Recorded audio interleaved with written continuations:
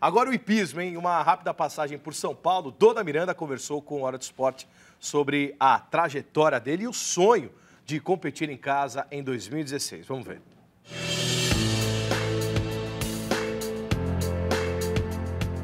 Álvaro Afonso de Miranda Neto, ou Doda Miranda, é um dos maiores nomes do hipismo no Brasil.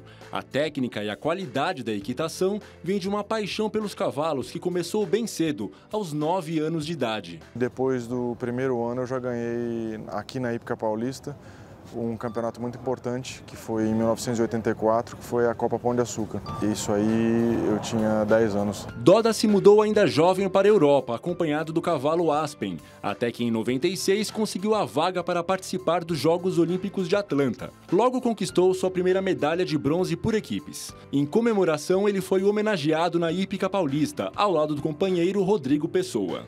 É uma satisfação enorme você poder voltar para o teu país, com uma medalha, né? Quatro anos depois, em Sydney, Doda foi novamente medalha de bronze. Agora, para os Jogos do Rio, em 2016, o cavaleiro destaca o papel de estar em forma e de se dedicar ao esporte, que vem crescendo no país. Você representar seu país em qualquer competição, ainda mais quando se trata de Jogos Olímpicos, é uma responsabilidade muito grande, né? No hipismo, um bom resultado não depende só do atleta, mas também do cavalo, que é o parceiro dele na competição. E para que ele tenha um bom rendimento, é fundamental a figura do tratador.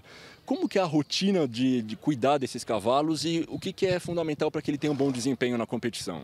Fundamental é você ter bastante carinho, um bom veterinário em cima de 24 horas. Cada passo que você dá em cima de um cavalo, você fica tentando imaginar o que está passando na cabeça dele, entendeu? Passar tranquilidade. Então isso é muito bacana.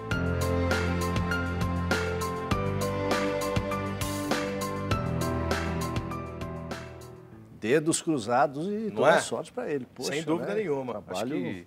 O Doda teve aquela participação lá na, na, Austrália, né, em Sydney, que muita gente lembra por conta do Balobé de Roe, que acabou refugando, mas e ele disse que não competiria mais, que só está competindo, né, envelhece, 14 anos passaram, porque os jogos são, serão realizados aqui no Brasil e em Jogar casa, em casa né? né? Disputar em casa, muito melhor. É muito, né? muito bacana mesmo.